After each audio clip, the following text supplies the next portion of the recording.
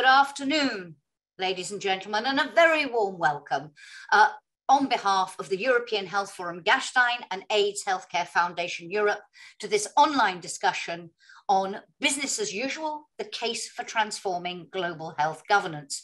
My name is Jackie Davis. I'll have the privilege of moderating our discussion. And the COVID 19 health crisis has demonstrated the need to better anticipate the next pandemic and to harmonize preparedness mechanisms across the globe. As negotiations on an international, a new international agreement on pandemic prevention, preparedness, and response get underway, our speakers today are going to consider what they hope for from this process. What should any new agreement look like? How should it be shaped and by whom?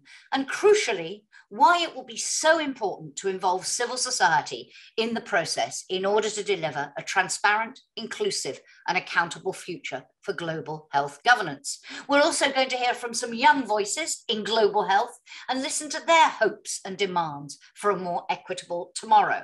Housekeeping before we get underway. If you want to ask a question, there are two options.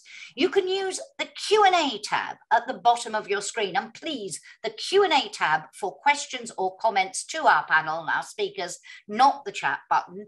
Uh, and please be as brief as possible so I can see at a glance who your question or comment is directed at and what it is you want to know.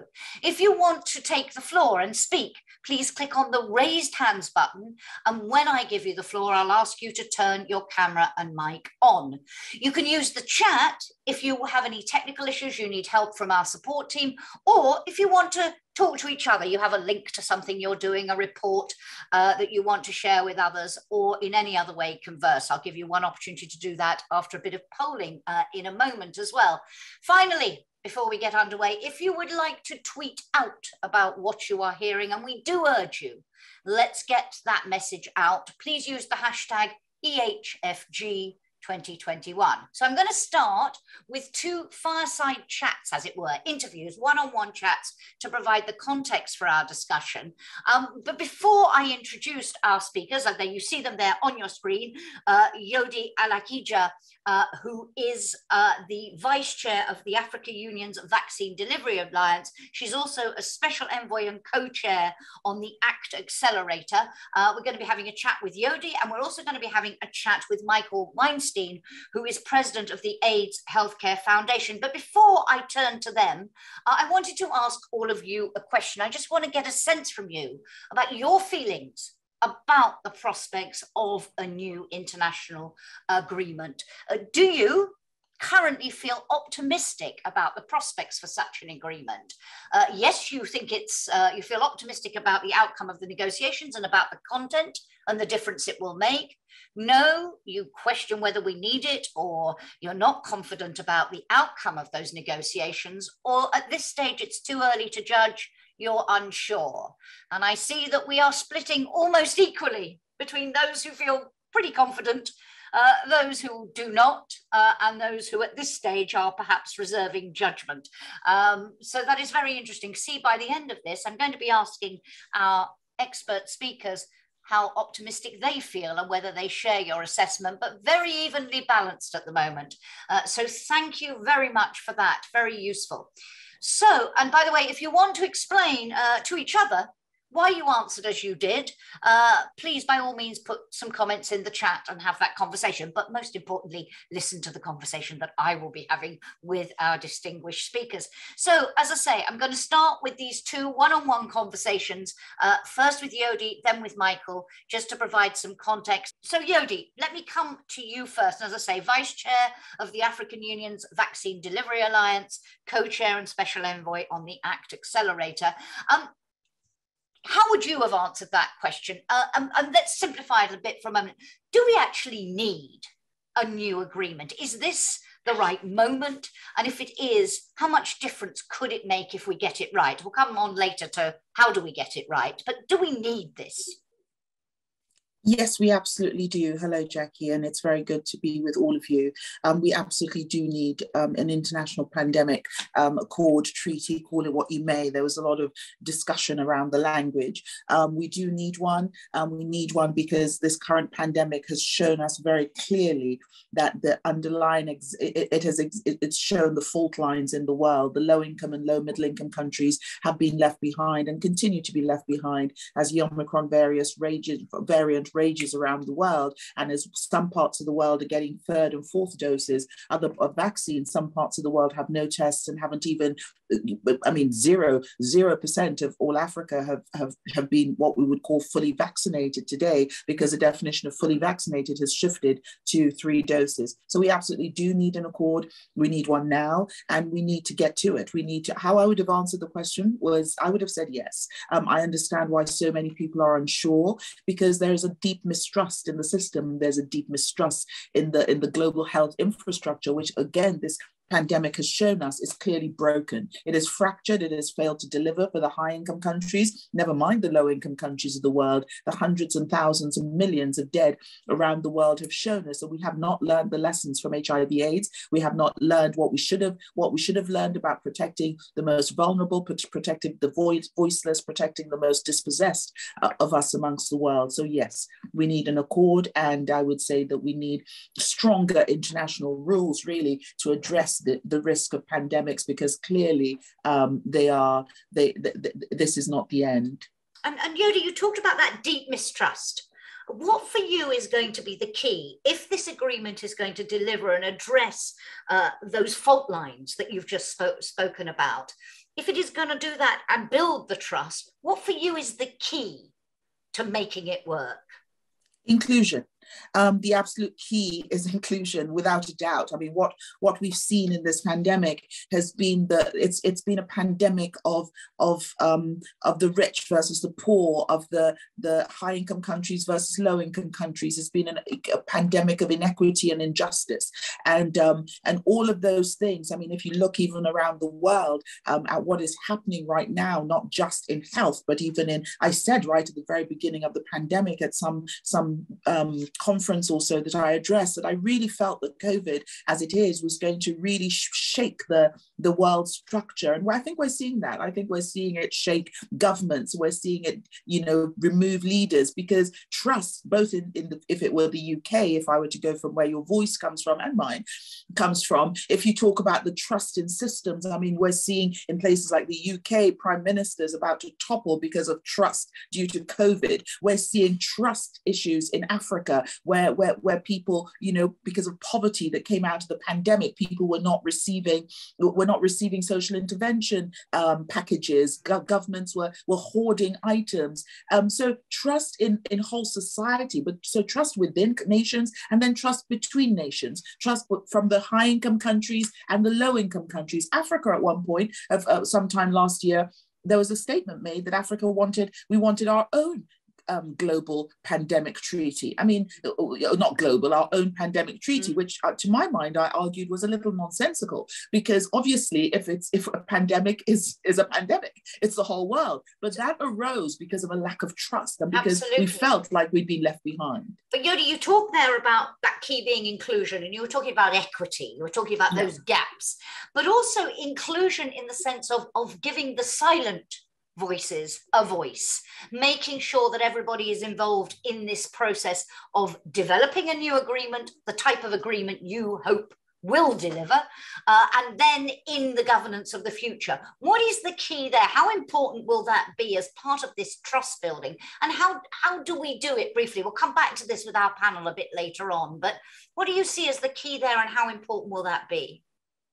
Well, let me use, you introduced me just earlier as being a, um, now being um, special envoy, um, WHO special envoy, and also co-chair of the ACT Accelerator. let me use that as an example. I did an interview with Development Today earlier, which we talked about that. And the, the analogy I gave was that um, when I walked, when I sort of metaphorically, because of course it's mainly virtual, walked into my first um, ACT Accelerator meeting, it felt like my first day at boarding school. I was sent off by my parents to boarding school in England because they were working overseas when I was nine, nine, 10 years old, which is where I got my voice from. And it felt like my first day in boarding school. It was, it was, I felt it, it, it, it was really confronting because everybody was different because I was the only person of, of a certain hue. I was also the only woman. So when we talk about inclusion, we're not just talking low income countries, we're talking, you know, we're not just talking CSOs, we're talking women, we're talking those those who have not been at the table because you cannot do something. We cannot build a treaty if we're not talking to those and including at the table those who have the lived experience. We mm. need those with the lived experience. You cannot design for me a system to prevent pandemics in the low income country of the world without talking to me first.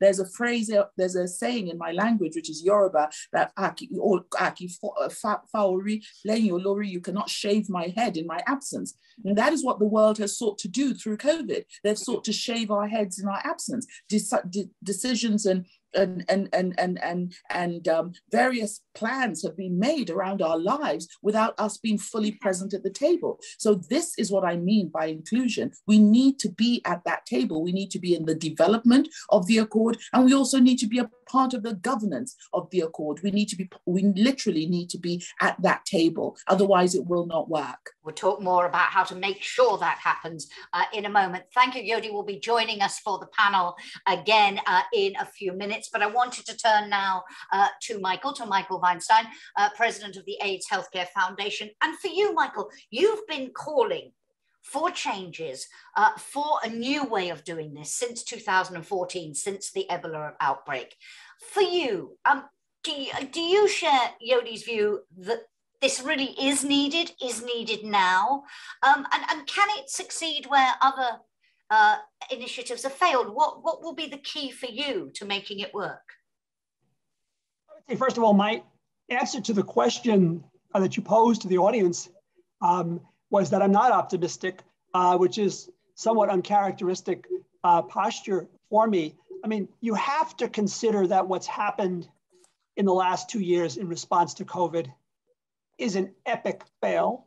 Mm. Yeah. I mean, we um, we didn't have uh, transparency in relationship to the origin. We didn't have accountability, um, starting at the Geneva level uh, uh, and across the globe um, in terms of the policies. And certainly we see that with the lack of vaccine equity, which is uh, a tragedy, uh, both for the countries that can't get vaccinated, but for the entire world.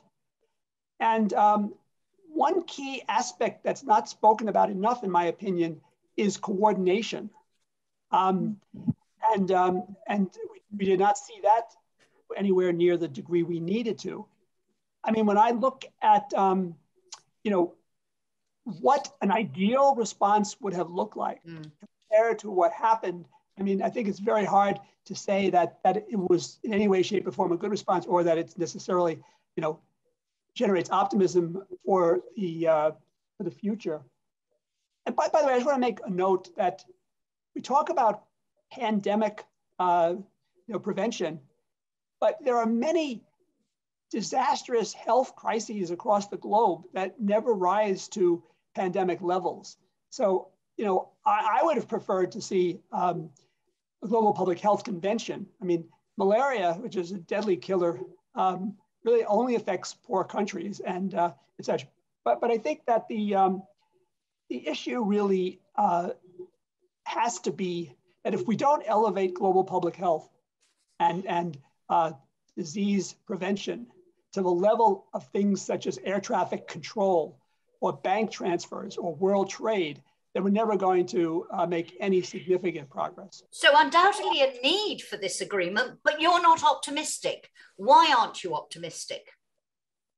Well, I mean, just today um, was very interesting because, um, you know, the African delegation, I think, rightly asked for stable funding. Uh, the uh, you know the Russians and the Chinese are opposed to civil society being at the table. Um, you know, the, the Germans have taken a hard stand against sharing of intellectual property. Um, I mean, the only reason that the World Health Assembly passed this resolution to create a treaty was because we were in the grips of the worst fear of Omicron at that moment in time. Um, but I wanted to comment to, to, what was said earlier that um, about inclusion because you know we and and also what uh, you had said about the uh, not learning the lessons of HIV. The reason why the HIV response became a huge success in the world was because of civil society and the voice of people living with HIV itself. Um, and also because the fight against um, intellectual property uh, exclusion and for uh, generic drugs uh, was won. So, um, I mean, I think that, you know, again, if you compare it to air traffic control, there is one set of rules for the world. If you wish to land, have planes land in your country, okay, then you must abide by those rules. And if you don't wish to have planes land in your country, then you can go, go it alone. And I think anything less than that is not really very serious. Um, but also, I mean, uh, you know, when you're trying to put out a, uh, a brush fire, a huge fire, right? Um, you don't ask how much it costs. I mean, when you consider the trillions of dollars of wealth that have been erased in the last uh, two years, compared to the paltry budgets for global health, it makes no sense.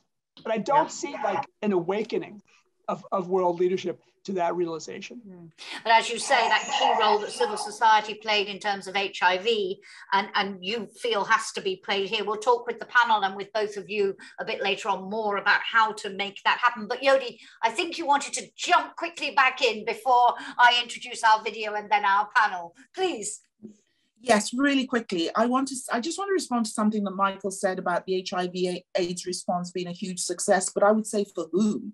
I mean, it was a huge success for the high-income countries. People in Africa continue to die in their millions years after it became uh, it became a, a, a, a, sort of just a chronic illness. Well, not just, but a chronic illness in the high income countries of the world. This is why we need a pandemic response because we didn't learn those lessons. So I have also, I'm on record as saying that had um, COVID started in Africa, had it started in low income countries of the world, the world would have shut us away, locked the door, and thrown away the key. Because, and but if our voices are at the table, if we are part of something like this accord, I, I also don't, I mean, I agree with Michael on in many parts. Yes, one has to be given the way things have gone so far. I have said repeatedly the global health system is broken, the global health infrastructure is broken. And given that, we need to find a way to fix it. So I think this is now a time to come together.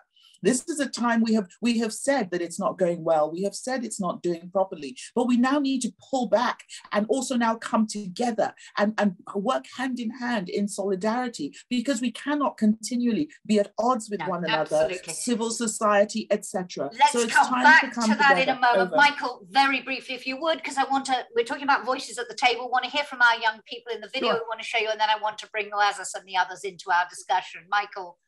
Very briefly, I wholeheartedly agree. It was a failure until uh, the 2000s. Okay, so to, to, clarify that, and that's when things really got going in terms of the developing world.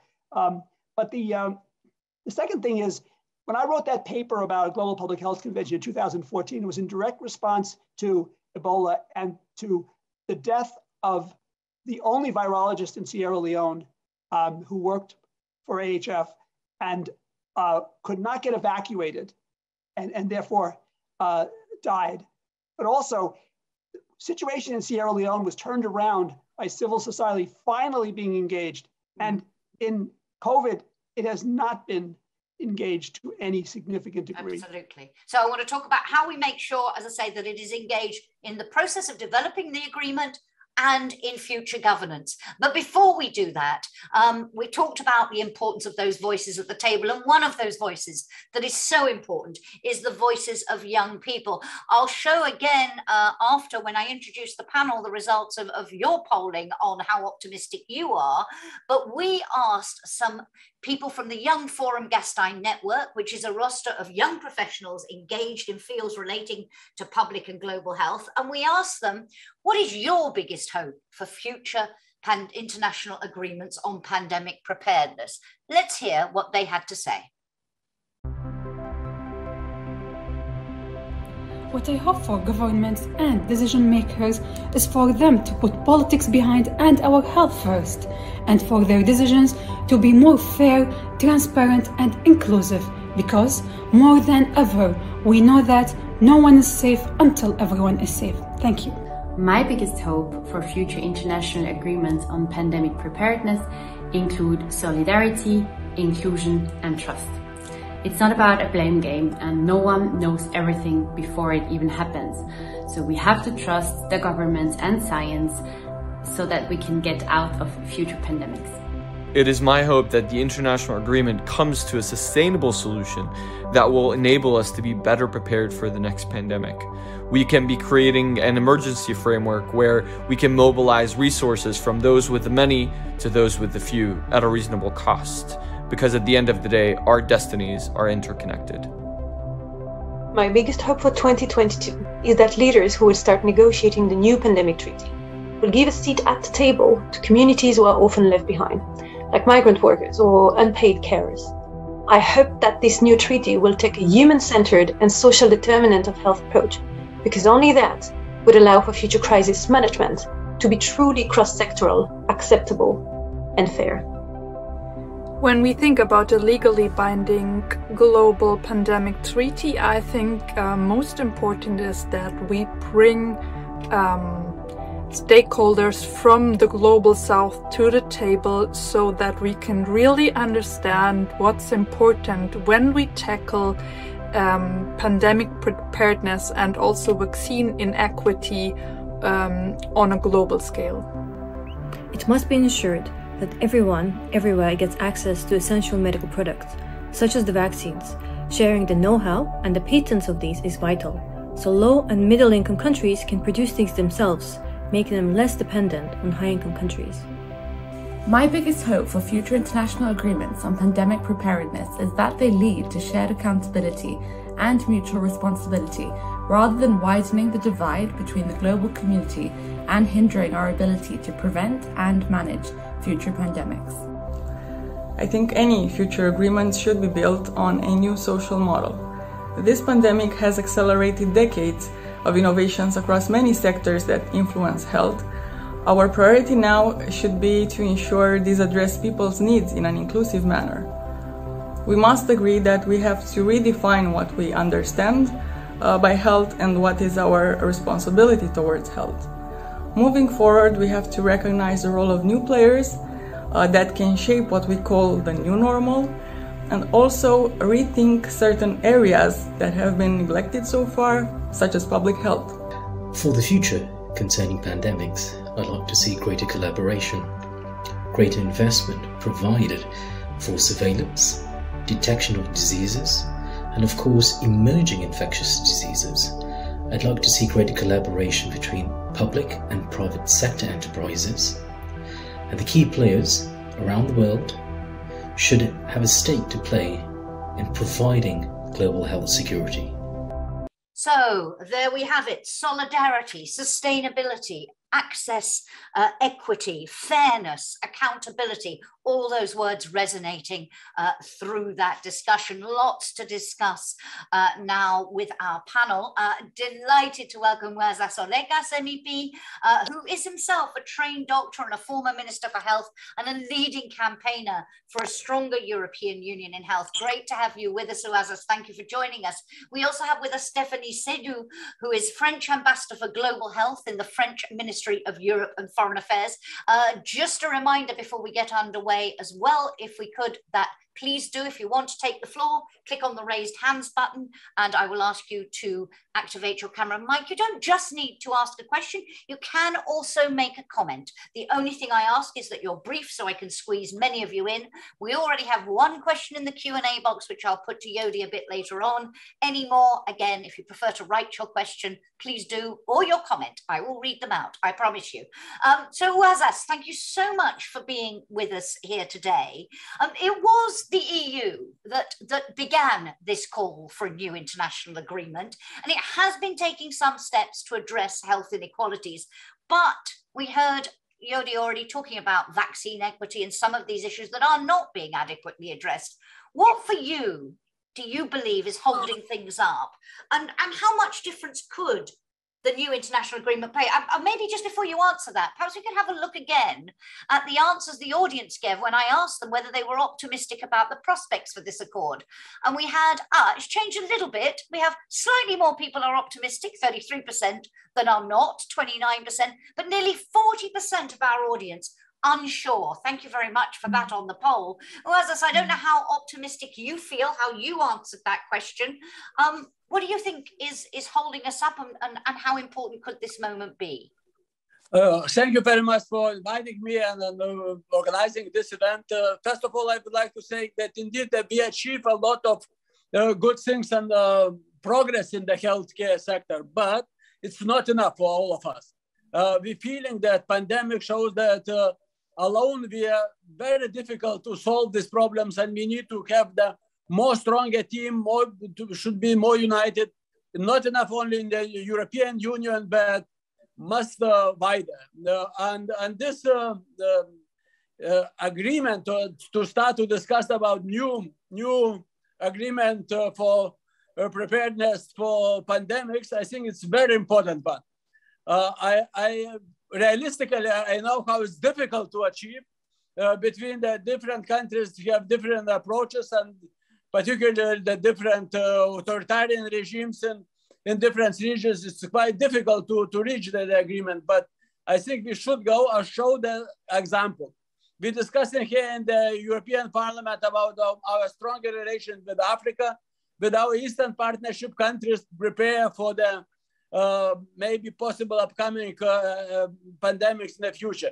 How we can create a joint strategy for vaccination, for indicators, how we can involve more, not only authorities and professionals, but also the civil society and our patient organization, because the, without them, it will be very difficult to, to reach the, the agreement and uh, common, uh, common understanding what is going on. We are not satisfied in the European Parliament, but we are not so much involved in the negotiation. But I hope we will have some channels through the consultation with the European Commission, External Action Service, and Council. They will report us in, in our public uh, European Parliament session, and we can influence the, the, the situation and negotiation. Thank you very much. Lots to come back to. And on your point about the involvement of civil society, one comment that's already come in from Catherine Pettus says civil society is allowed one minute to make statements on the floor of the WHO Executive Board meeting going on right now. We usually put at the end of the day when no one is listening. So we've written a letter to the board and member states protesting at this situation. So uh, already a big issue in, in ordinary meetings. How do we fix this? We'll come back to this uh, in the context of the negotiations. But Stephanie said you're very happy to have you with us. Uh, as I mentioned a moment ago, you're the French ambassador for global health. And France is, of course, one of the regional co-chairs leading the negotiations. Just by way of context, can you tell us a little bit more about where we are. So, what's happened so far? What are the timelines? Uh, I know they're pretty tight, the deadlines for all of this. And, and do you have a sense of what the main elements of the accord are likely to be already, or is it too early to say? Thank you so much for inviting me, and um, so excited to be at this uh, at this amazing table. A great choice of theme as well, and it's uh, absolutely crucial to have the voice of uh, young people and civil society also on the event. So thank you so much. So just to, to uh, give an outline of where we stand on this project of a, an accord um, treaty binding instrument. Um, as you know, there was an extraordinary meeting of the WHO, an extraordinary World Health Assembly, which was held in November 2021, and which um, very luckily, uh, in, from the point of view of France at least, but uh, with a certain degree of consensus, arrived at the decision that indeed work ought to be going forward to, towards designing um, an, an agreement. So an instrument on pandemic prevention, preparedness, and response. So what the decision, which was um, taken in November, foresees is a, a succession of, uh, of successive steps. So the one which is now taking place, January 2020, is the establishment of a bureau where one representative from each WHO region will sit and uh, which will constitute an intergovernmental negotiating body, INB. So this INB is really where things will happen in the months to come. This is ongoing, uh, although um, some representatives have already been um, distinguished and they still need to be confirmed in, in the next weeks. And then from March till June of this year, 2022, there'll be public consultations, fairly broad ones um, in principle. And uh, quite quickly in August, a preliminary draft will be presented by this INB. Um, in May 2023, so a year after that, there'll be a progress report presented at the uh, usual May World Health Assembly and uh, the plan is for the uh, negotiated text to be adopted one year even after that, that is in May 2024. Mm. So what we're looking at is um, a couple of years of intensive work and a, um, a landmark for adoption, which is set in May 2024. So um, the, the, the idea is to really have a, a an inclusive process um, as the INB is being set up and as soon as it starts its public consultations with all essential stakeholders um, included in the, uh, in the consultations, there's a general feeling that um, it is a, a condition for success of this instrument. But to be very honest, I'm sure that's something which eh, will sit with the INB to find the right way to do because I do not know to what extent uh, such a uh, specific legal instrument as an international treaty uh, in such a sensitive area as health has yet been, this is all going to, to, to have to be invented for this particular treaty. Um, treaties are signed and ratified by states and uh, the WHO is an organization whose members are states. There's a general feeling right now that indeed the stakeholders go beyond the nation state. And so, um, uh, and so this is definitely going to be a very exciting uh, way forward, challenge certainly, but the formula will have to be found in order to um, indeed um, include all these stakeholders. But you mentioned, Stephanie, already, sorry, sorry to interrupt, that the public consultation is due to be launched already in March. So we're only a couple of months away from that, uh, if not a little bit less, as we're at the end of January already. Um, if you talk about an inclusive process, how that consultation is structured is going to be a key part of that. Uh, when do we expect to get answers on what you've pointed to is going to be very sensitive? And then I'd like to give everyone a chance to react to the sensitivities and how we cope with them and get this right. But I mean, is, is the framework of how to consult on this being developed? Has it been developed? It's going to have to be done really fast and yeah. really well. Big challenge, but in some way, I guess the fact that it's going to, that the timeline is going to be so tight and the expectations so great. Well, let's let's hope that that will give the right momentum for those sitting in the INB to, to move forward. And that's certainly the right time for everyone to come up with their expectations and with and making their voices heard here and now. Absolutely. Um, so that um, it's it's well heard as the process starts moving ahead. I'd like to get a reaction from Yodi and Michael and then come back to Juozas on the Parliament's role in all of this. But uh, Yodi, hearing there, I'm hearing from Stephanie, this is tricky. This is a difficult process. They recognize the need for inclusiveness, but the nature of what might emerge is going to make that complicated. And I want to come back to that with reference to how binding or not binding it is later on. But on terms of this consultation involvement of civil society, what is your reaction to, to the dilemma uh, that Stephanie outlines?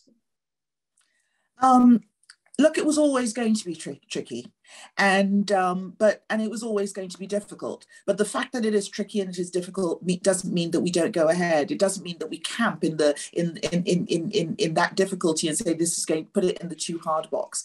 I think now is the time to really under, uh, address and this this this treaty accord. I mean, even the fact that as Stephanie said, you know, treaty accord um, a binding instrument. Even the fact that we're having those discussions is, is, is, a, is an indication, it's an indicator in itself as to, to the difficulties we have going forward.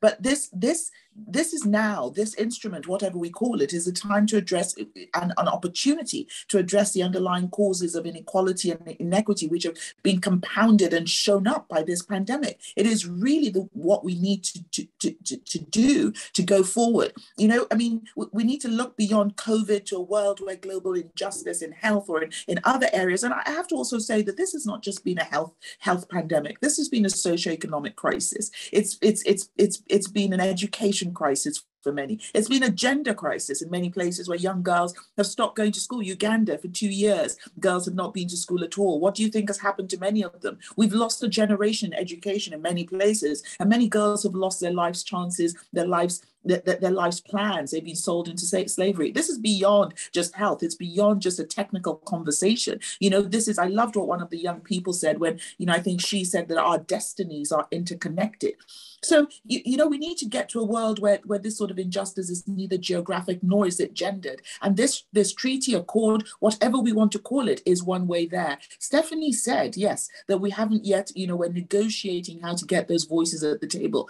I am a living example right before you of how difficult it is to get some of those voices at the table. Because when I was appointed special envoy for the ACT-Accelerator, there's there's been a little bit of some people have been like, uh, who is she? They're usually former prime ministers. They're usually former presidents. They're usually heads of multilateral organizations. So where did you find this woman who is more? Yes, I've worked at high levels of government. Yes, I've worked in multilaterals, but as they as, as as dr tedros and others said when i met with them last week is that my, my my feel is more of an activist. And there is typically no space that there's no room in these spaces at these tables for people the, you, for people like us. through Yodi but I've broken through, through. so yeah. what's the key to doing the same here for this agreement and these negotiations well, I, I, well it's not me who broke through. I mean I, I sort of I have this thing that I say often you know I've spoken at conferences about you know you get your you get you pull up a chair if they won't let you pull up a chair you climb on the table and you make your voice heard.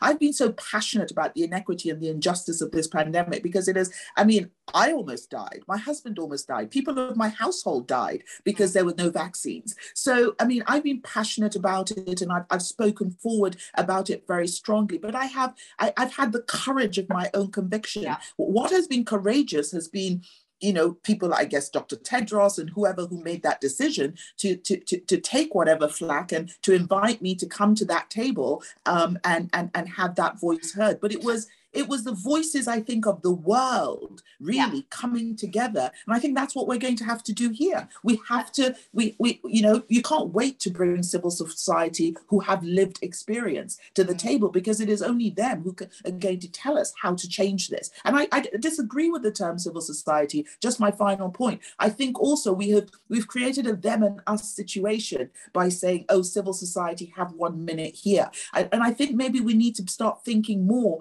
about how we, we, we shift that language because we've, we've almost created a divide. You know, oops, civil society, they're troublemakers. you know, activists, let's be careful where we, where we allow them to speak. I, I, straddle those lines and I don't, I don't see, I don't see, see, see that we should allow that to, to, to stop us. Mm, thank you very much. Stephanie, you wanted to come back and then Michael, I'll come to you and Juozas. It's, it's incredibly um, strong and exciting what you're saying. Um, I want to call you Dr. Alakija. I like she asked to me to call her Yodi, which is why title, I'm doing so. Full Yodi.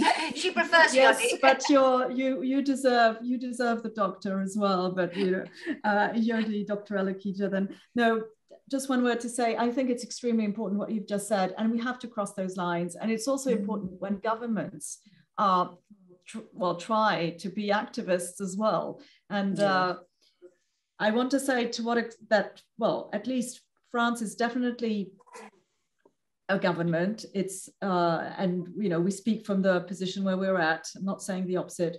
We do defend as much as we can attention to community-led responses, and we mm-hmm. try to be as much as we can advocates for the grassroots level, the diversity of what happens in country, a, a, a, response which isn't top down and which is as much as possible grounded in the field in many languages in, in the many languages of the world not only the english of geneva or the northern capitals. Yeah. um, and so um, I, I I think it's extremely interesting what you said that we have to straddle the lines and it's we do for what it's worth, I, I, I, I do find that every time as an official that I feel that I am somehow verging toward the activist.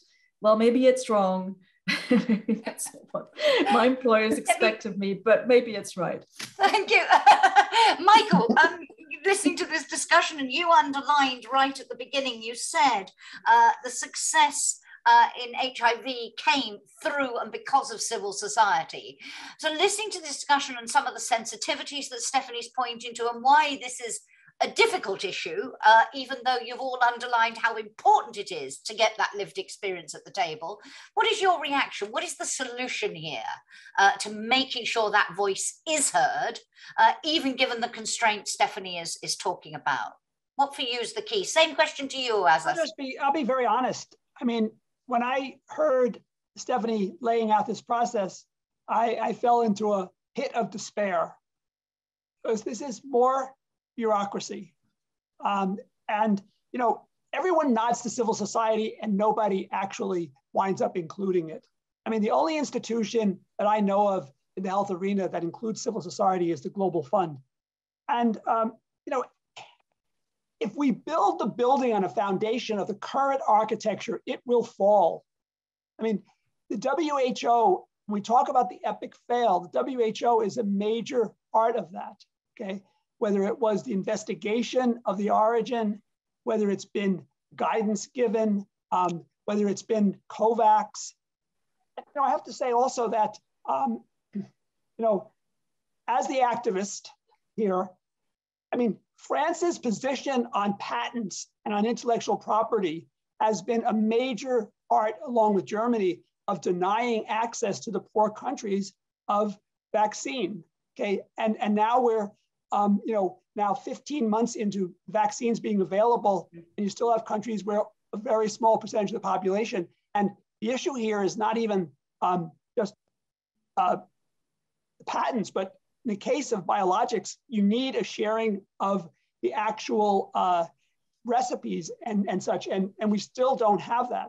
So I can't, and, and three years ago, I went to meet in Geneva with the head of uh, health for the European uh, Union. And, and I was making this appeal for Global Public Health Convention. And what I got back was Fortress Europe. And I think that's largely the response. And another thing I despair about is we need to, global health should not be centralized in Geneva. It should be in the places that are most challenged by global health. It should be in Africa. It should be in Southeast Asia. It should be in the poor countries of Latin America and the Caribbean. And, and where you sit and, and how you fly does prejudice you as, as to your viewpoint on the world. Thank you very much. Oh, as I was listening to this discussion and you talked about the role of the European Parliament. You said you're not satisfied at the moment with the voice that you have in this process. Uh, and I'm wondering here, as you listen to this discussion, what you think is the key, um, whether uh, you as a parliament can not only stand up for your own voice in this, but also for the voice of civil society. Do you see a role there and, and indeed for parliaments internationally to get involved? Uh, yeah, indeed, there are two, two maybe uh, points. First of all, the, the healthcare is not uh, on the, the responsibility of European Union so much. Uh, the healthcare is more uh, on the uh, member states' responsibility, and this is one of the very important questions. Now what we have, we have the conference on the future of Europe. I think this is very quite good way for our civil society to participate and to express their vision of the of the future of Europe. And now we're discussing more widely globally.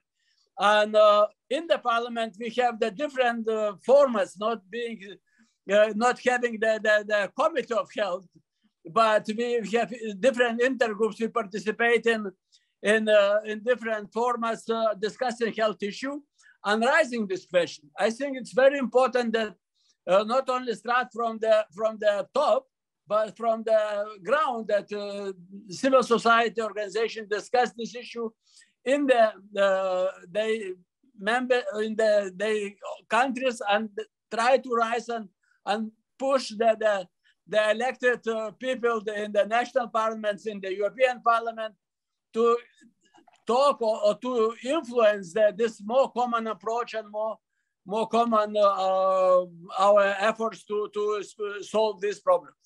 Thank you very much. I'm going to come to audience questions are coming in now. And if you do want to join the debate orally, please do click on the raised hands button and I'll come to you. But Stephanie, can I just ask you a question uh, related to timing? Um, and it's really a question to all of you, but starting with Stephanie, because Yodi said earlier, we need an accord and we need it now. Uh, I'm quoting directly, but there are members of civil society who are concerned at the speed with which this is being done. You outlined that incredibly ambitious agenda. You said a first draft already this August, and the first meeting of the international negotiating body, as I understand, is not until March. So that's three, four months. There are people who say, no, we need a much more thorough analysis of this problem, of what's gone wrong uh, in the past, uh, and why the hurry? Let's get this right not at speed.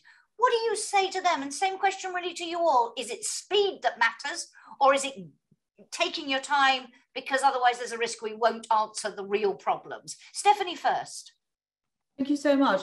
Well, I mean, the, the answer doesn't sit with me. Um, I'm just wondering what your what your feeling but, is. But uh, as as France and part of the uh, and and a member of uh, um, the the group which is establishing this uh, this INB with others, definitely wanting to keep a momentum going. That's that's for sure.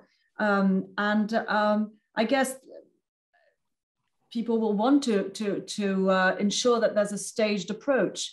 First draft might only be draft on method or the main uh, the main chapters, and then indeed there's another six months until May 2023 to to examine the um, uh, the preliminary uh, draft sorry, the, the progress report, and then uh, finally the adoption a year after that. So, well, I don't think that two and a half years is uh, a short time, but I guess the, the whole idea, the whole finesse will be to, um, to keep moving and to have a next stage coming while ensuring, of course, that there's enough um, that there's enough consultation and that if needed, then well, people can stop and say, no, this is that there are too many uh, issues which need to be to be getting into. And I'm I'm going to stop here. But you asked me earlier what would be the um, uh, what, what, what would be the themes.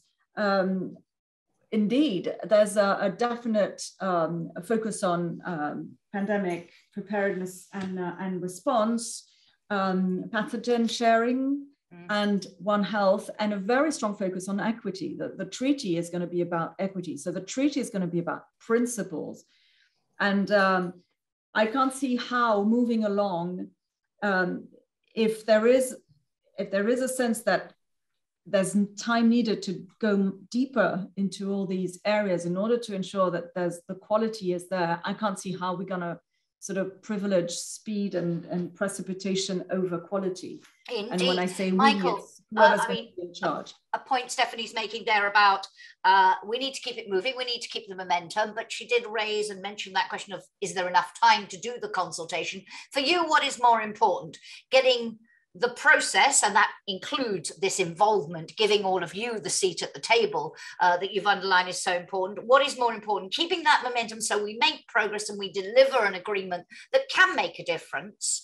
Uh, or waiting to make sure we maximize the difference it makes. I mean, that may be a false choice, but what's your view on this speed issue?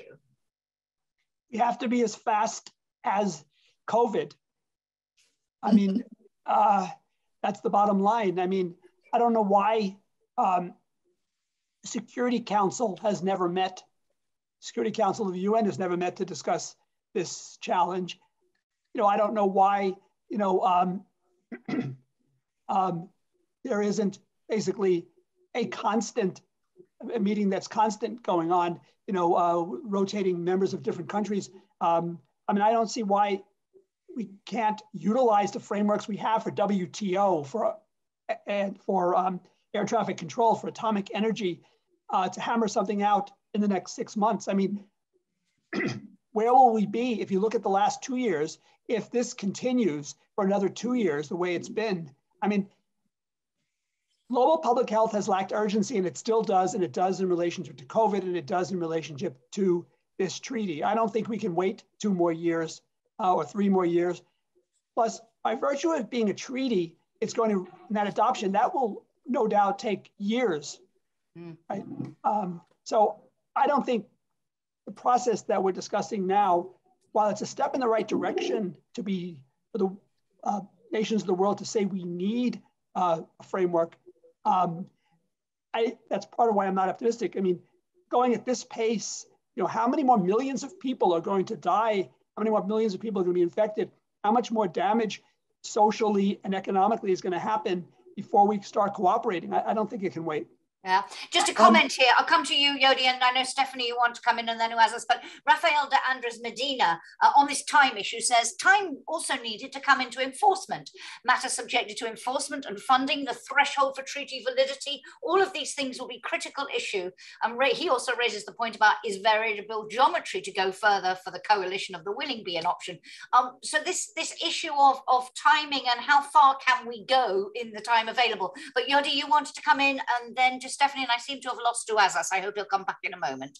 Yodi. Well, um, a couple of things, just to react to a couple of things. Um, I, I couldn't agree more with what, what Michael says when he says, um, when he talks about urgency and speed. He also talked about the fact that we haven't, as a global community, and I have called for this several times, including, you know, literally, literally from my study in, in, in, in Abuja, you know, speaking to people at the UN security who are on the Security Council to say, why is this issue not being raised? So I couldn't agree more um, with all of that. However, we, we, we, there's, there is the urgency, that there is the tightrope between, urg, between the urgency and getting it right. There's a tightrope that I, I, I hear, the, the, the, tension I hear in, in, what, you know, Stephanie was saying about, you know, the inclusion, pulling all the, vo- the voices and everybody in, as well as making sure this is actually done. But th- this speaks to the underlying problem. And I think Michael again mentioned it when he talked about WTO, etc. That to address the inequity, the inequality inherent in these global systems, we need to rebalance these power structures that underpin them. And it does require a bottom-up approach, and it's grounded in the lived experience, in the voices and the ideas of people who are most affected. You know, be, be, be they in the global north or the global south, which is the case eh, right now. But you know, I, I also want to take us to, to, to, into history because those who fail to learn from history are doomed to repeat it. You know, after the Second World War, the whole world was upended, right? I mean, and the world came together to shift and change systems. This is a one in a hundred year event that is upending the entire world. And I think what we're failing to see as a global community is the urgency of that moment and the seriousness of that moment. I think it is changing governments, it is changing systems, not just the, the, the inequity, but the sense of injustice is, is, is raising almost revolutions in different countries. So that speaks to the urgency, but it also speaks to what Stephanie eh, is talking about and what the French government, you know, and I think is really important, their role right now is as, as, as EU in EU lead, pulling others along in the geopolitics of this, which is critical. The geopolitics says that, you know, we have to speak to, in, in, many ways, we have spoken too much to our differences in the last year and a half due to geopolitics. But the urgency of this moment also calls us to talk back, run back, go back to history yeah. and look at just, sure, just sorry, lots yeah, of questions to address. Just what the world, just what the world needs in this moment, and how do we do it? Just like we did in post post World War II, we are in a moment like that, and I think that is the sort of that's the sort of tempo that we need to keep. Thank over. you Sorry. very much, um, Stephanie.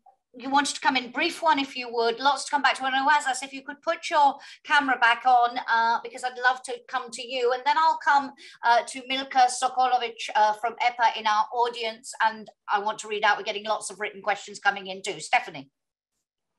Yeah, no, I so I so want to pick up on what Toyota just said, but uh, no, I simply wanted to go back one step and say that well, the world gave itself a, uh, a, rules of the road, as it were, in case of pandemics, which is the international health regulations, which came were um, established in 2015, right after the first, well, the latest, the last scare that we'd had with uh, uh, with the, the, the previous pandemic, um, the previous SARS pandemic. Of course, what we've seen this time around is that including this IHR wasn't sufficient, needs to be improved, and there's work that is being done in that um, in that respect. So, in particular, to give uh, more operational powers to the WHO to go and make inquiries in, in country, to have um, um, more flexible um, stages of an epidemic to, to, to declare, to for member states also to report uh, more accurately and be able to share more data when um, health events are, are happening, etc. So this is this work is being done. So we're not without any solution as it is. We could have left it there. There could have been, I mean, the whole effort could have been to, and as it will have to be done, to improve this um, international health regulations. But the decision the, the idea came up, European idea at the beginning, and it's now gained momentum to actually top that with something broader, wider, more ambitious in the form of a treaty, an accord, um, with principles mm. uh, that the international community, in all its diversity uh, and its solidarity and comprehensiveness, wishes to give itself in terms of an ambition and a commitment to um, tackle uh, health globally okay. in a more effect effective way. Thank way. You. We seem to have lost Juozas for a moment, so let me come to Milka Sokolovic uh, first to raise a question from the floor, and then I have a couple of questions. You keep using the word treaty, and I have a question about whether that is what will emerge, and if not, what do we need? Uh, but Milka, please, and then I'll come back to Juozas. Milka Sokolovic. Yes, thank you very much also for pronouncing that complicated last name. Um, indeed, Milka Sokolovic from the European Public Health Alliance. Uh, what shall I say? An incredibly insightful discussion. Thank you so much for it. And also thanks Ilona for sharing those links in, uh, to the briefings. Um, my question goes potentially to Oyodi, but potentially also for Stephanie or other panelists. So what clearly comes from this discussion is that trust will be the key condition to success for this treaty, but not only for it. And we are talking about trust in governments or between governments, trust between sectors and stakeholders, between global north and global south. But at the same time, we see a massive decrease in trust among ordinary people. Their trust yeah. in governments, trust in science, you name it. We live at a moment where we have limitless uh, access to potentially helpful information, but also to inaccurate, contradicting information in which science gets misrepresented.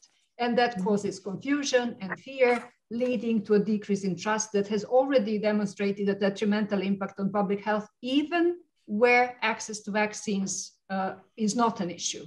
So, mm-hmm. how do you see us going around this massive challenge? Thank, Thank you, you very much. Thank you. Yodi, I think it was most mainly directed to you, but please brief one if you would, then I want to come wow. to you, Thank you very much, Milka. Um, that, that's quite the challenge. I think if we can fix that one, we will be able to fix the world um, that question.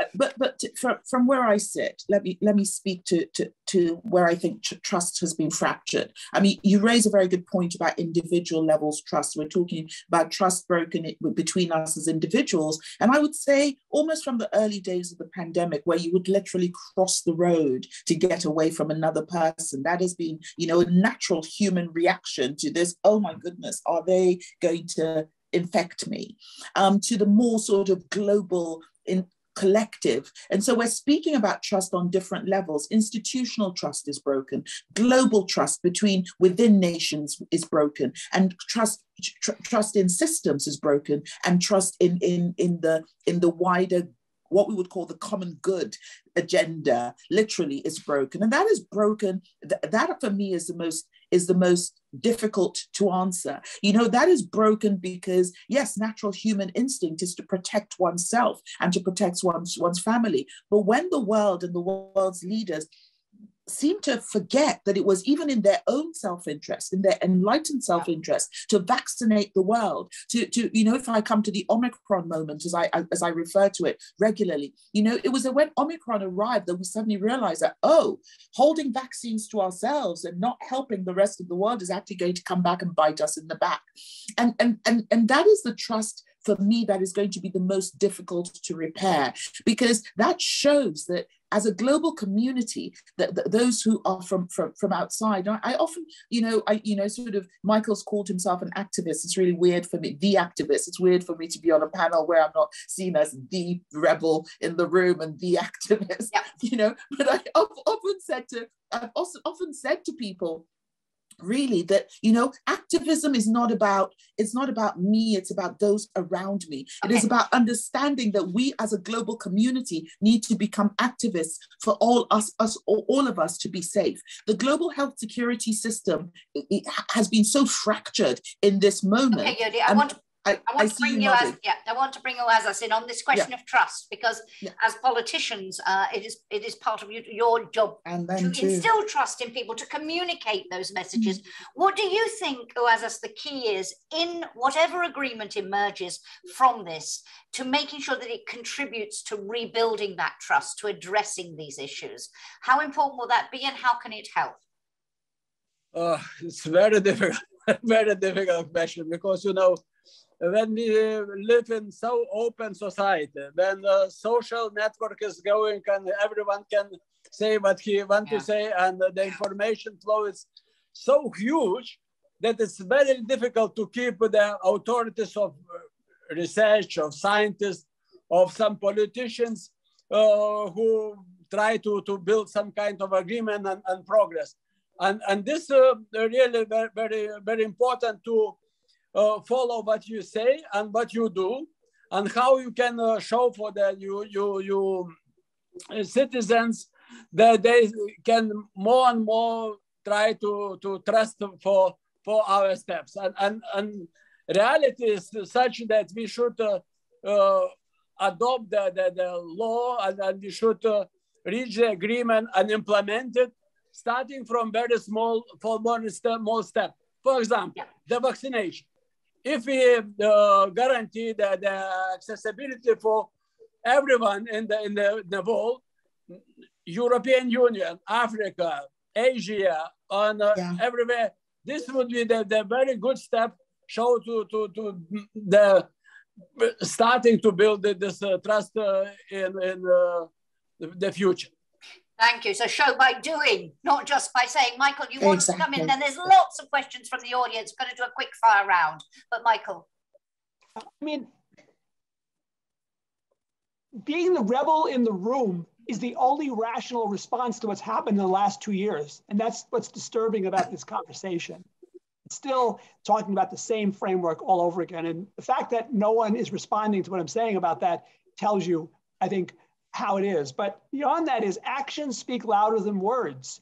Why should the global community trust any power center on this epidemic? Is there any place in the world that has had a great response to this in terms of on what should be done for the world, not just for their own country? No.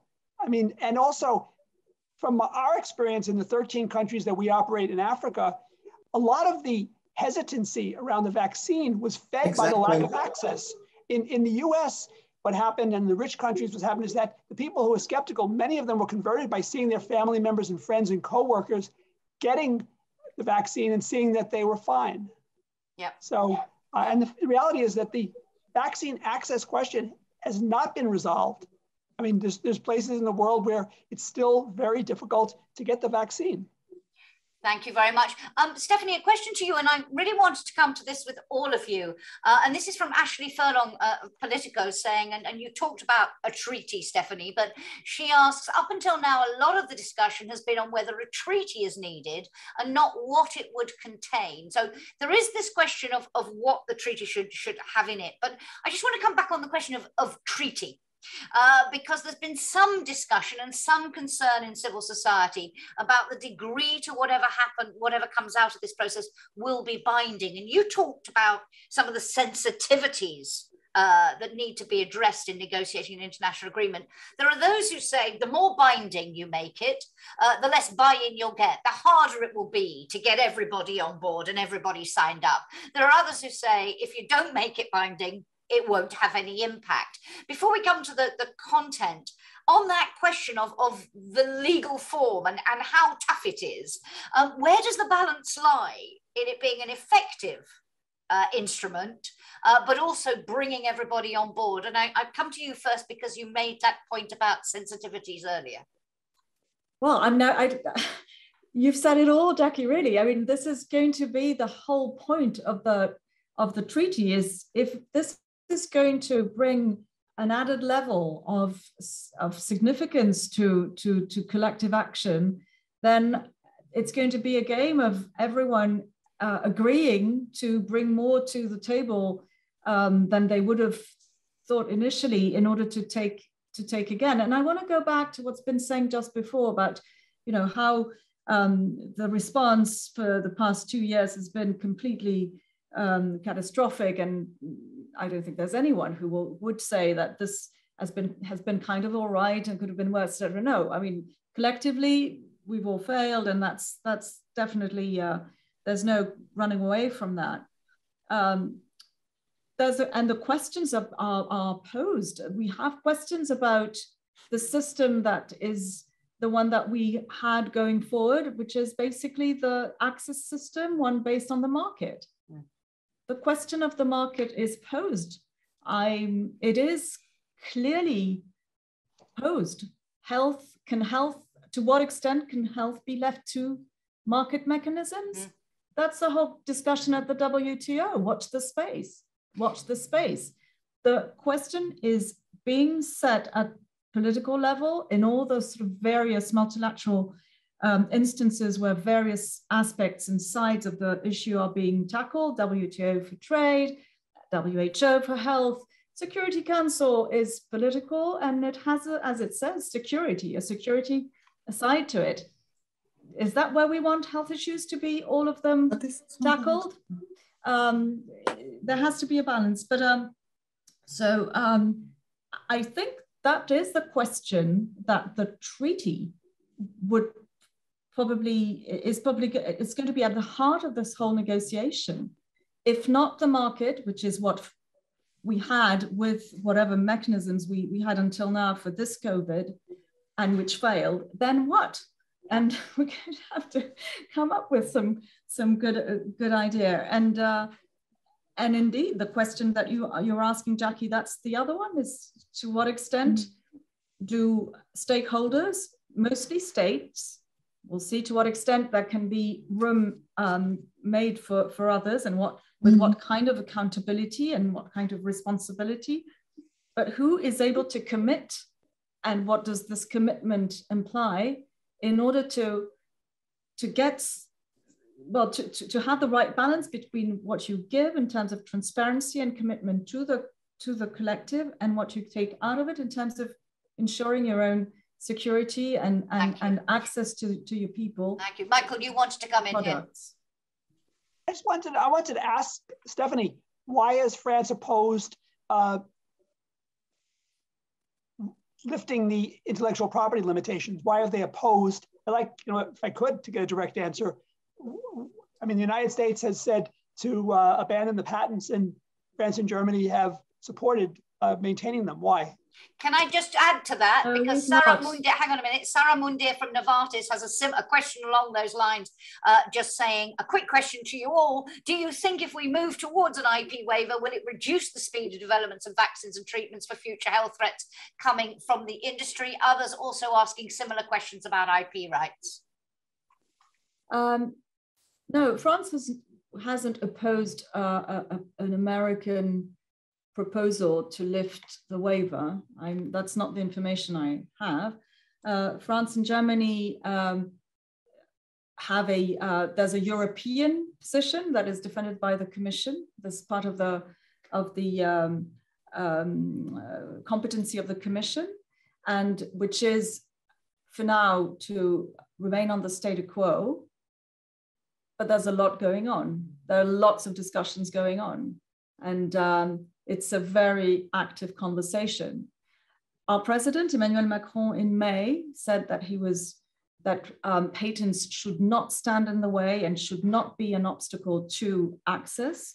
Um, France has a consistent um, involvement and investment in all um, possibilities that are given by the current um, um, uh, uh, agreements, uh, TRIPS agreement, sorry, for um, uh, technology transfers. Transfers. We've invested in Unitaid in the medicine patent pool from the beginning, that i.e. mid of the mid 2000s. I know that's not the same as the waiver, but still, we have a track record of being one of the only and main donors, certainly, of these organizations who have developed over the past 12 years a real engineering capacity in, in forging these negotiated agreements. And that was for indeed the access to ARVs and all the um, three pandemics, um, um, medicines and, and, and products, uh, also malaria that you very rightly um, mentioned earlier, and tuberculosis. And that's what indeed enabled Unitaid to jump into the Okay. Uh, the the Sorry, um, we need, we need response. to move on. There's still lots more questions to Yeah. address. So no, just uh, an attempt Yeah. at uh, Yeah, Yodi, Yodi, just on this question of treaty not by, by how binding it should be, what incentives for compliance, how do we make sure that this agreement, whatever form it takes, really does hold the world to account and addresses the failings, the fault lines that you've talked about? And, and do you, with those who say we need to get everybody on board, so we maybe shouldn't be quite, we shouldn't be so ambitious uh, that we lose uh, a lot of people and can't get this agreed. Where do you stand on that? Briefly, if you would, really brief replies now, because there are lots more questions from the audience to come to. Well, it's very it's very difficult to be brief because this is such a deep know, deep deep issue. Um, but but in, in a couple of words, um, accountability is what you're speaking to and very few people like to be held accountable and governments even even less so. I mean it speaks more to the, the further to the, the the issue around the issues around trust. I think i've i think i've spoken to this already. I think we need to get something done. I hear very much michael's frustration as to why we're even having this conversation but what is the alternative? You know we can't just leave things as they are so we have to somehow it is it, it is only by having these conversations that we'll be able to get to what the it might not be the ideal scenario but at least it'll be it might not be perfect but at least it, it, it will go some way towards sol- solving the solution. So i mean to, towards a solution. So you know getting every are we going to take all the time in the world to have every single country agree to have everybody around the table. We don't have that time. Again you know michael has spoken to that urgency but we have to do something. And i think that the, the, the proposal i have spoken already about you know how the whole world order shifted um, 70 odd years ago. That is what we need to be looking at. I i found it interesting what um, Stephanie just said, you know, when she said watch the space with WTO and, and WHO for health and, and, you know, is it Security Council that we really want to be going to for this? This is a global, it's not a health issue. And I think that is what we're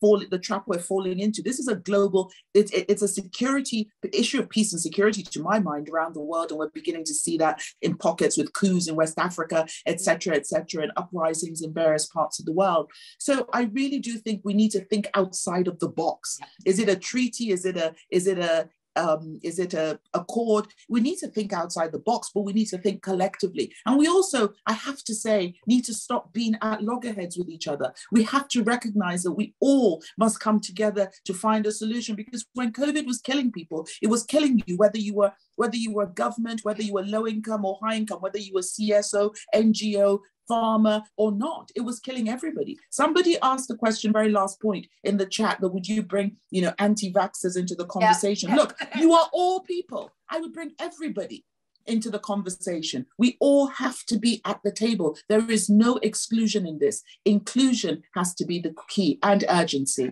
Thank you. Michael, uh, let me come to you very briefly on that one. There's two comments in the chat. And I want to come back to your lack of optimism, Michael, uh, because the World Duchenne Organization, don't have a name, shares your cynicism, if you like, about the process, saying a call for radical innovation in the field of health governments has become painfully clear every time the world suffered from a severe pandemic HIV, AIDS, H1N1, swine flu, Ebola, and now COVID. This person says, What makes you think that this time it will work? You don't at the moment, but someone else says, What do you believe is essential to achieve a different outcome this time as compared with adherence to international health regulations so far?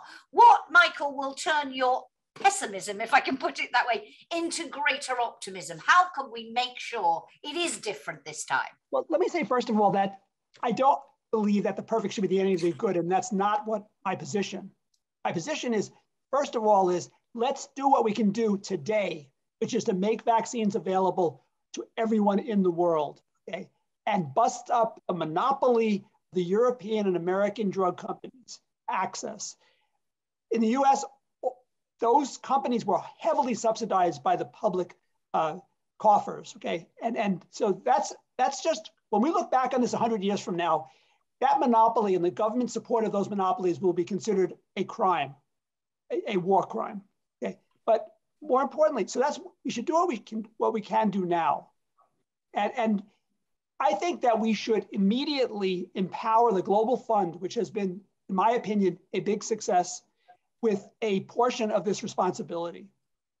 Mm-hmm. I also believe that the um, we we have to at least establish the principles that every government um, must declare an outbreak or be penalized economically. Okay. I think, second of all, we need to store uh, PPEs and other things that we know will be needed now and in the future strategically, so we're not scrambling to get it there, right?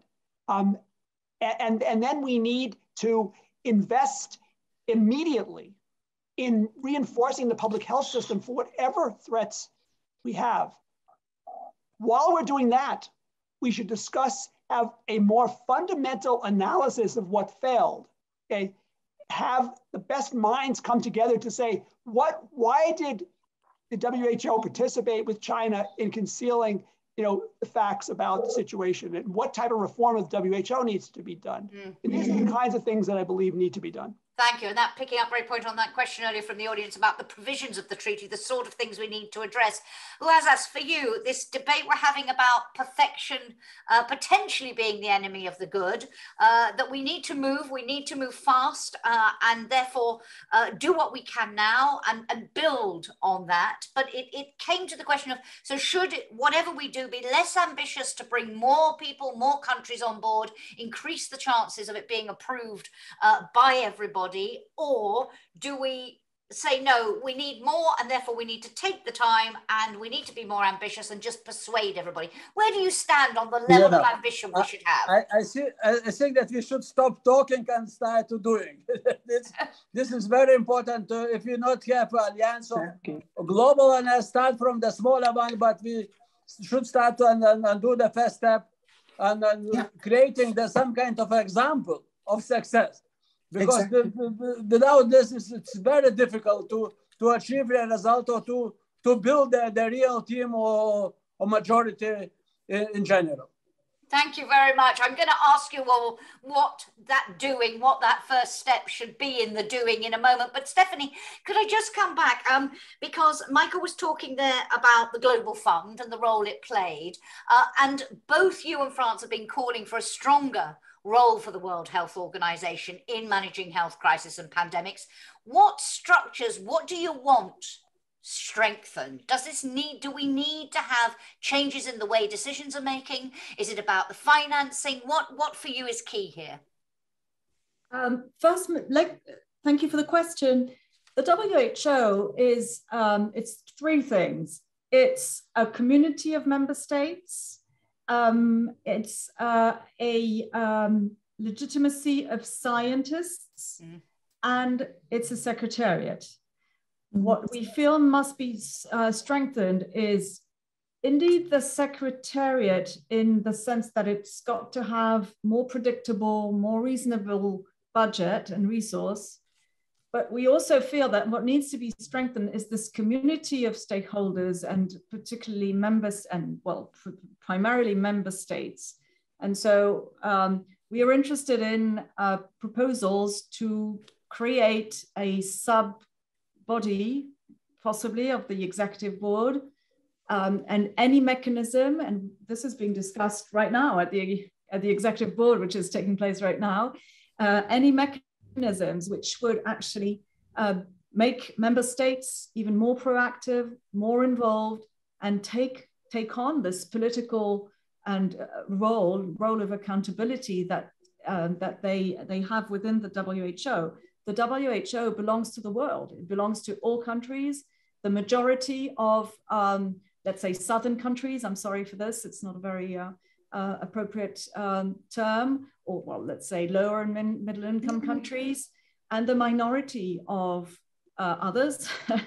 and it's, and it's, and this is where the power rests. It's a very democratic um, assembly, if you take it uh, from the UN point of view, of course, it's a UN organization and it has its limitations in some of representation. Civil society ought to be there.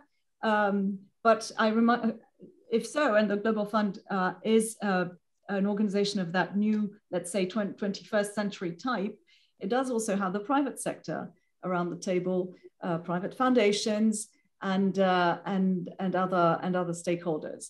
Thank so, you. Any other quick thoughts to this before we try and draw some conclusions about where we go from here? Anybody want to come in? Michael? I just don't see how a structure where, where the Secretariat has 194 bosses, where, where have to rule by consensus, and possibly uh, work. So that's one reform, I think, uh, to strengthen uh, some type of elected or executive uh, body that actually runs the organization rather than the World Health um, assembly. But I would like reaction from people, if I could, about do we think that the whole World Health establishment ought to be located in Geneva, which is one of the wealthiest cities in the world, and that people ought to be flying uh, first class from from uh, those offices in Geneva to to the poorest places in the world? What do you think about that? How do you feel? Yodi, uh, should we move it to Africa?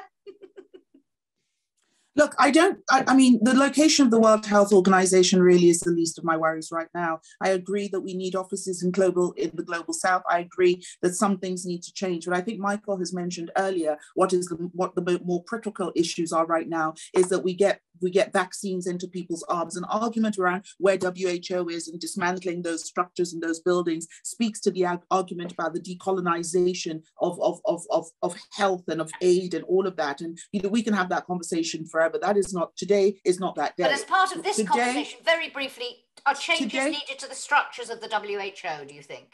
Sorry, I, I, are changes I, needed to the structures of the WHO? I think structure, changes are needed to the structure of global health period not just yeah. who yeah. global global fund um, um, whoever whatever it is there's struck there are changes needed to the structure of everything i have said that repeatedly the mm-hmm. global health structure is broken but it is also important that it is a democratic organization it is also important that when you know ministers from africa go there they are able to speak with with with with with, with, with the same the same time or the, the same voice as other so it's a very complex question but when we talk about pandemics, which is a critical issue, we have to take in the fact that that structure has not necessarily served us right. And we have to, not the WHO, but the entire global health infrastructure. I think it needs to be strengthened on, on, on many levels. And I also, uh, I mean, I also think that, that, that, that, that we have to, again, I'm going to end on that. We have to stop this divide between the us and the them. And I think that is part of it. You know, so WHO is going forward in, in, in, in the strengthening or whatever the process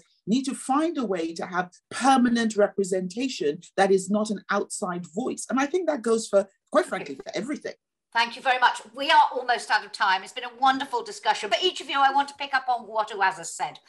And in a sentence, basically, each. Juozas said, we need to stop talking and start doing. Yeah.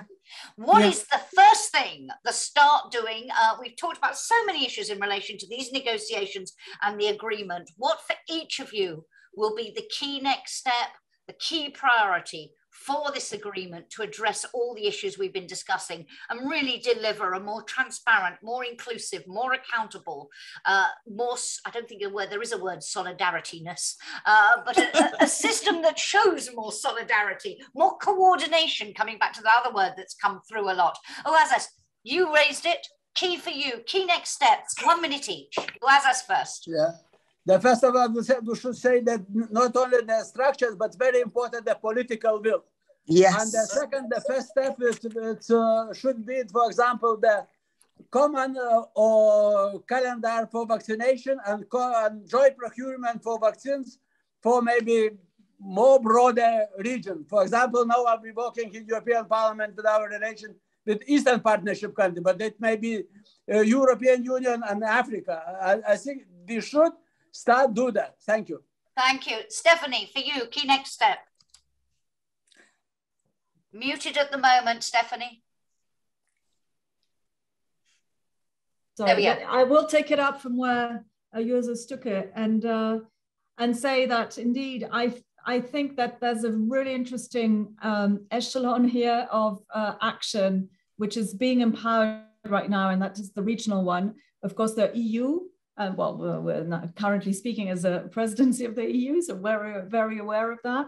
But uh, Europe is rebuilding itself around health. It's rebuilding its health competency, and it's and that's definitely the message from the French, French presidency and the events that will happen in February is that while rebuilding this health competency for Europe, this has to be open. It's it's got to be rebuilt as global health, as a a phenomenon which is global, and in global Thank there's solidarity. And, um, and the dialogue we're having with the African Union uh, later in February is going to be super interesting from one sovereign re- or, or one uh, region wanting to regain sovereignty on health and other issues to another. Thank you very same, much indeed. Um, Michael, your key priority, key next step.